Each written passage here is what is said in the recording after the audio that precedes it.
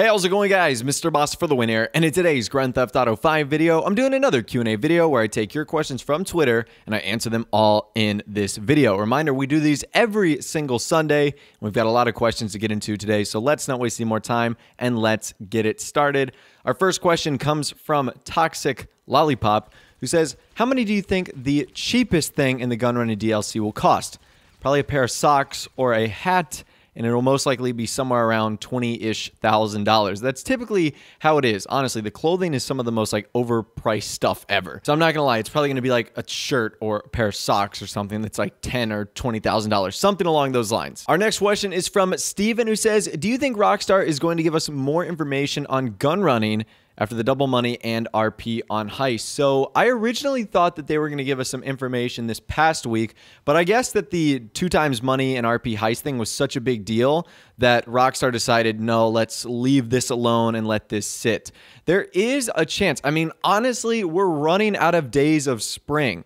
And if Rockstar said this is going to come out in spring and summer, then eventually we are going to have to get new information on gun running. I personally believe that this is a good time to do it there isn't really a whole lot else going on in the gaming community. And it has been so long since Rockstar have given us an official word on really anything new. I know the community is crazy for some new information on gun running, even if it's just one screenshot or some more info on how the missions or stuff like that would work. I know that all of us in the community would really appreciate it. Up next, we have a question from Matt Zingu who says, Could Rockstar possibly extend the double GTA money and RP on Heist because of the limitations of getting onto the servers? So in case you guys have missed it over like the past 24 to 48 hours, Rockstar servers, especially with Grand Theft Auto Online, have been awful. I mean, they've been hot garbage. Grand Theft Auto Online has really been Grand Theft Auto offline. And I don't know what is causing this. I don't know if it's like a global cyber attack or if Rockstar servers are just having some basic hiccups.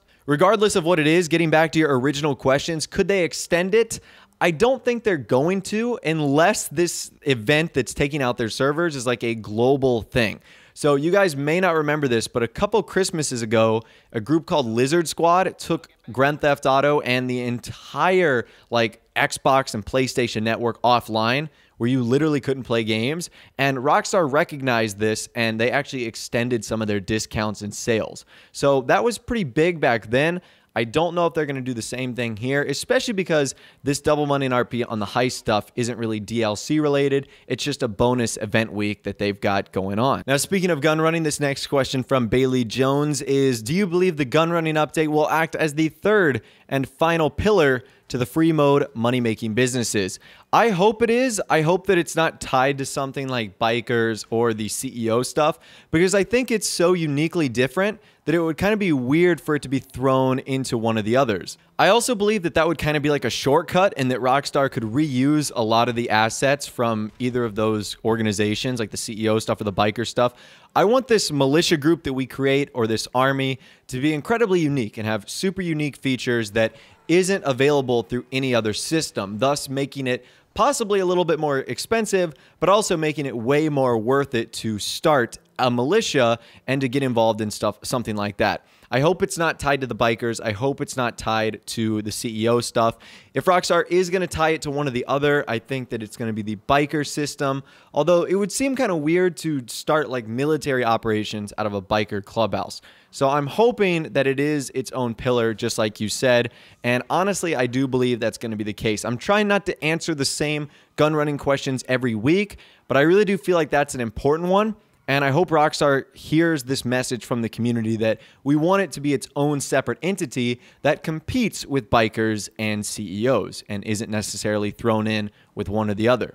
Up next, we have a question from Jordan who says Do you think all the gun running DLC content will be released at once? Or over a period of time. So I believe that Rockstar has got this tunable release drip feed system stuck in their head, and I really do think that's going to be the case. For some DLCs, I think it works really well, like import export, where there was a lot of amazing content to look forward to. However, with the last update, I think it kind of backfires, where we are slowly getting one car a week, and then one week we get an adversary mode, and if you don't like the adversary mode, it's like, well, this was worthless. So I think that for import export, like I said, it worked really well. For special vehicle circuit, it didn't work all that great. I think that if the tunables content is good, I don't have a problem waiting for it. I, in fact, I get really hyped for its eventual release. But if the content is bad, which I don't think it will be, it is kind of a bummer just sitting there waiting for the bad content to be added into the game. I would prefer it to be like a 60 40 mix where we get like 60% of the content on day one and then like 40% of the content drawn out without like a month or two. That would be pretty cool, and that's what I really liked about import export. All right, our next question comes from Super Juan Avila, who says, "Do you think we may get animations or character actions in the gun running DLC? I would love some new animations like crouching and going prone. I think those could be incredibly useful for the military missions and for just combat in general. But as far as character actions go, we already have the salute in game, which is pretty military esque. I wonder what some other military actions would be. I'm trying to think of, of some of those right now. Maybe like do push ups or something along those lines on the spot. That could actually be pretty creative. I think the last time we got new actions in a game was Lowriders Customs Classics, which was really over a year ago. So it would be nice to get some new ones. Hopefully, Rockstar get pretty creative and add some nice military, militia, army sort of themed ones into the game. That would actually be super cool. Our next question comes from Chainsaw, who says, Will there be a new fastest supercar? So, if you're talking about gun running, I think the answer is going to be no. In fact, I don't even know if we're going to get a supercar in gun running. If you're looking for the new fastest supercar, which I guess people are tired of using the RE7B, I don't even know, it would probably be in another race themed update. And we didn't see that in Cunning Special Vehicle Circuit. So I don't think we're going to be getting a racer style update anytime soon. So I think for the long term, that the RE7B and the cars surrounding it in the top two or three are going to probably be the best ones to use for a long time. So they will probably stay that way. And I think for gun running, that's actually a good thing. I want to see more off road vehicles, more trucks, more military vehicles, uh, more muscle cars, stuff like that in gun running, and a little bit less of the high flashy supercars. Our next question comes from Chief, who says If aircraft carriers are added, how much do you think they will cost, and what upgrades do you think they'll have, like yachts? So I think they would definitely be like 10 or 12 million dollars, no doubt, because of how massive they are and how rare I guess Rockstar would want to keep them.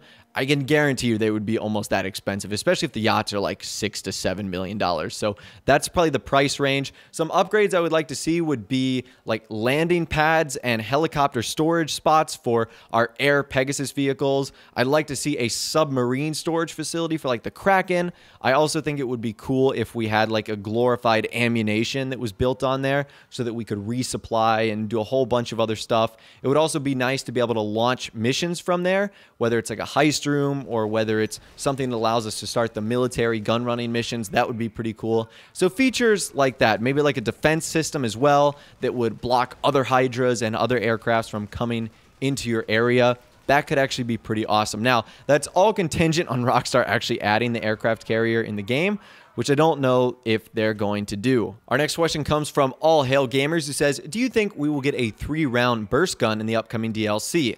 I don't know if we'll get a specific one, but I think that's a good idea as far as a feature for the weapon, being able to switch it to like single fire or burst or automatic. Honestly, I feel like that should be the way for all the rifles we have in the game because if you make something single fire, it's more accurate. You can pick and choose your shots. Three burst would kind of be a nice middle ground. That would be cool if Rockstar added like a, a different firing modes for these weapons. Because right now, all the rifles are automatic, and for the most part, every other gun is automatic for the exception of like the pistols and then some of the shotguns. But yeah, that would be a great new feature uh, that Rockstar could actually add for the weapons themselves. This next question comes from Knife Guy who says, Do you think Rockstar will release the ground fireworks ever again, possibly as a part of an event update? I really hope they do something with that in this year's uh, 4th of July DLC or Independence Day update. It, depending on when gun running releases, it could be advantageous of Rockstar to package in some pretty cool content for a 4th of July or Independence Day DLC. And adding the ground fireworks back, even if it's for just a week or a day, would be amazing. And there's a whole bunch of other things that Rockstar could do clothing wise, vehicle wise, feature wise that could really make for an awesome 4th of July update. I feel like that's something that's been missing over the last really two years. They did one in 2014, but honestly, they've just been reusing the content ever since. So it would be actually nice for them to add more 4th of July Independence Day content into Grand Theft Auto Online. All right, our final question again, once again, comes from Jordan, who says, When will you do your 2017 gaming setup video? So it looks like a lot of you guys really want to see this. I will be doing that soon. I've got to make a couple changes to my office right now, and I'm also waiting on the right time to upload it. I think I might do that sometime in June, maybe after the gun running DLC. That, I'm, that might be a video I save for like E3 or something like that, which is another event I might end up going towards. So it's going to be happening. I just don't know when but it'll definitely be sooner rather than later. But anyways, that's all the questions that I'm going to be answering in this week's Q&A video. Hopefully you guys did enjoy. As always, we do these every single Sunday, so if you want to be possibly featured in the next one, all you got to do is go in the description, follow me on Twitter, use the hashtag AskBoss whenever I'm looking for Q&A questions, and you might find yourself featured in a video like this. If you did go and enjoy the video, though, a like rating would, of course, be awesome. And also, subscribe to my YouTube channel if you are new or you like daily GTA 5 videos like this. With all the way, guys, like I said, thanks so much for watching. Take care, and I'll see you guys in the next video.